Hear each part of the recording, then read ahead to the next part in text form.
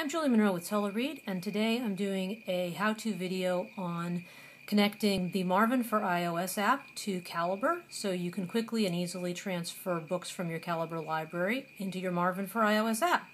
This does involve a plugin, so the first thing we're going to want to do is go to Preferences, get plugins to enhance Calibre. You'll see a list of plugins will come up. iOS Reader Applications is the one you want. Click Install. You will get this security risk warning. This is a perfectly safe plugin. Go ahead and say yes.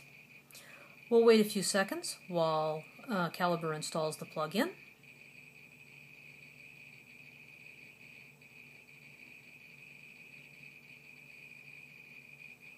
All right, it's installed. It's going to say restart. We're not going to restart just yet. We're going to say OK.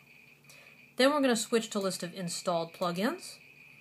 We're going to select the iOS Reader applications customize the plugin. You want to make sure that Marvin is the iOS Reader app that you have selected. Say OK. Now go ahead and close Calibre. We'll restart it again. While we're waiting for that to start, we're going to go ahead and make sure our iPad is plugged in, which it is. All right, Calibre's restarted.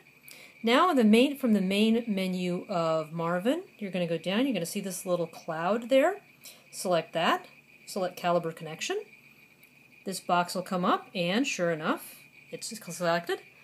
Now, you see, you've got the Marvin app here as a device, and you'll see that there are a lot of books that are in Marvin, and let's go ahead and send a new one.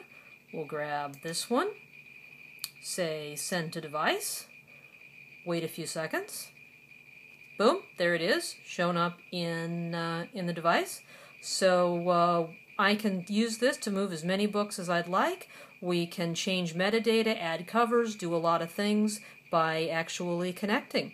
So when you're done, you go ahead and say disconnect, back to Marvin, Calibre's back to normal, and uh, you can close it down and go on your way. I hope this video has been helpful. See you, next. see you next time.